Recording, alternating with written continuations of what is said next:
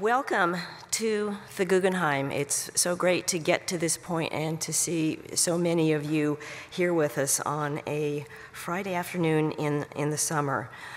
Um, but seriously, welcome uh, to our symposium on imagining the social in art and museum practices. We, um, I am Kim Kanatani. I'm, I'm, the deputy director and Gail Engelberg, director of education for the museum. And we thought it best to open up by providing you with some background context for the symposium and what led up to it, uh, as well as for our catalog publication launch today, uh, both of which are part of what we call our Guggenheim Social Practice Initiative. Um, and I also want to say right up front that there are a number of you in the audience today who have been absolutely invaluable in helping us conceptualize and sustain uh, the vitality of this particular uh, initiative over the years. And I want to express our ongoing gratitude to you. Uh, we're delighted to have you back here with us. Let me go back here. We initiated our Guggenheim Social Practice Project in 2014 with the goal of hoping to explore more ways that artists and museums can work together to develop new forms of public engagement that can advance important social values. Uh, the museum has a long-standing history of collaborating with artists on projects, whether they be exhibitions, performances, or educational initiatives that rely on active public participation in order for these projects to be realized. Uh, three examples, quick examples that I'll share with you that, that come to mind are First of all, Tino Sehgal's This Progress, which in 2010 actually stripped our rotunda of all physical artworks and employed our iconic ramp as a platform for discourse with our museum visitors. Uh, Tania Bruguera's The Francis Effect. She took it to the sidewalks uh, outside the museum to uh, launch a petition campaign to the Pope to offer Vatican citizenship for all immigrants. And then also another example is Carmen Papalia's The Touchy Subject, which engaged museum visitors in, in blind touch tours of the museum. We feel that Guggenheim social practice is just a natural extension of this long uh, standing history that we have with artists. As, as many of you uh, in this room are acutely aware, um, socially engaged art is experiencing a burgeoning uh, in the contemporary art world, and we feel that it's really uh, important for the museum to commit to this artistic practice through research, interpretation, as well as a presentation and documentation of these projects.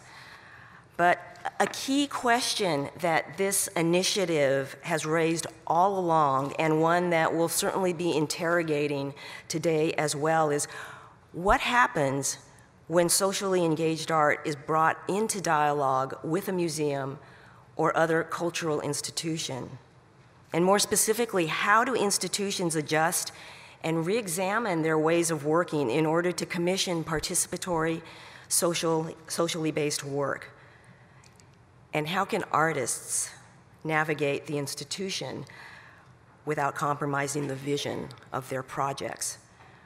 The intersections and the new ways of thinking that social practice can catalyze among artists, the museum, and often with the um, non-art communities that their projects engage raise really interesting issues for all involved and institutional practices in general.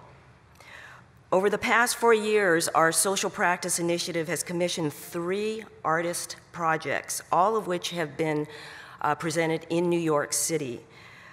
Beginning with a two year advisory and a nomination and selection process, we then launched the first of these two projects in 2016, one by Marc Bamuthi Joseph and the other by the collaborative team of Lenka Clayton and Jon Rubin.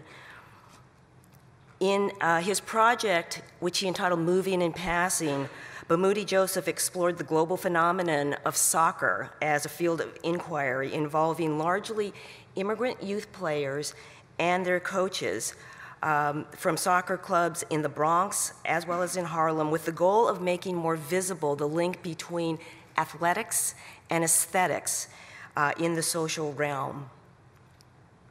Also, for their project, which they titled Circle Through New York, uh, Lenka and Jon literally framed the shape of their work by drawing an imaginary circle through Harlem, the South Bronx, Queens, and then also at Manhattan's Upper East Side. And after a year of research and relationship building, selected six community partners, of which the Guggenheim was one.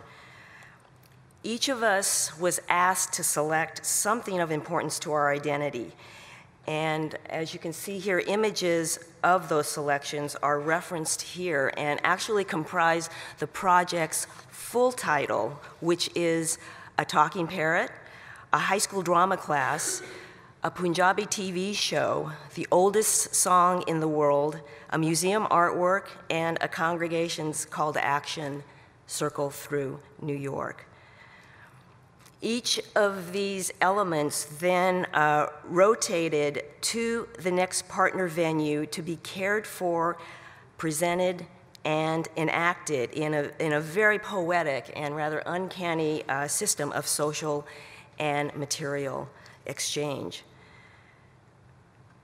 So, with the catalog publication that we are launching today, we wanted to try to holistically capture the dynamic stories and experiences uh, that these artists and their works inspired.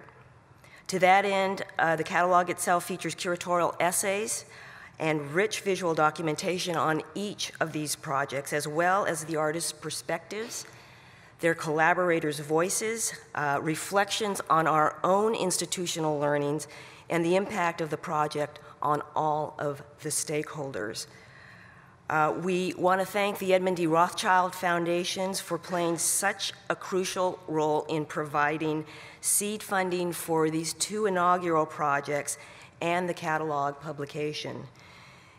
And it's because of that support we've been able to and able to secure additional funding from the William R. Kenan Jr. Charitable Trust to sustain our social practice initiative with our third project commissioned by Shaun Leonardo that culminated brilliantly last night in a performance titled uh, Primitive Games, which you'll be hearing more about in the first segment of today's symposium. But just out of curiosity, how many of you were able to attend the performance last night? Can we see a show of hands? That's great. Good. it's a good 50%. And for those of you who are unable, we'll be able to recap some of this. So now I just wanted to conclude by um, acknowledging the education and the curatorial staff who comprise this Guggenheim social practice team, uh, each of whom you'll be hearing from in their either introductions to or moderations of various parts of today's program. So again, thank you very much for joining us. And at this point, I'll turn it over to Christina Yang, who is our Director of uh, Public Programs.